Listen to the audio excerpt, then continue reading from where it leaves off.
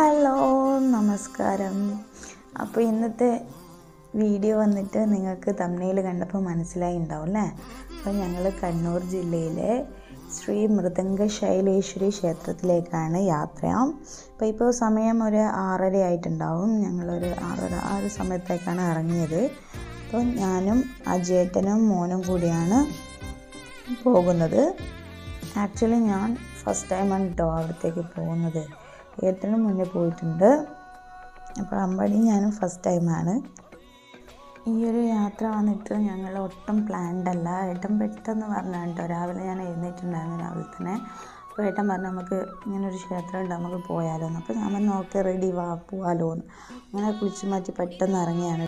അപ്പോൾ ഞങ്ങൾ പോകുന്ന വഴിക്ക് കോറോത്ത അമ്പലം ഉണ്ട് കേട്ടോ ആ ഒരു അപ്പോൾ അവിടെ ഇറങ്ങി ജസ്റ്റ് പുറമേ നിന്ന് തൊഴുത് പൈസയൊക്കെ ഇട്ടിട്ടാണ് ഞങ്ങൾ യാത്ര ആരംഭിച്ചത്. ഇതൊരു നാഗത്തിന്റെ ക്ഷേത്രമാണ് കേട്ടോ.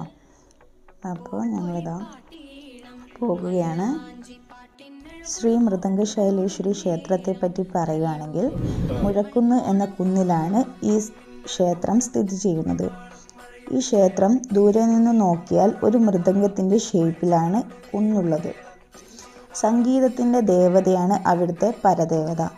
മൃദംഗ ശൈലേശ്വരി എന്നാൽ സംഗീതത്തിന്റെ ദേവതയാണ്. മുഴക്കുന്ന ക്ഷേത്രം ദേവതയുടെ സംഗീതം മുഴക്കിയിരുന്ന ക്ഷേത്രമാണ് എന്നാണ് അറിയപ്പെടുന്നത്. ഇവിടുത്തെ മെയിൻ പ്രതിഷ്ഠ പഞ്ചലോഹ വിഗ്രഹമാണ്.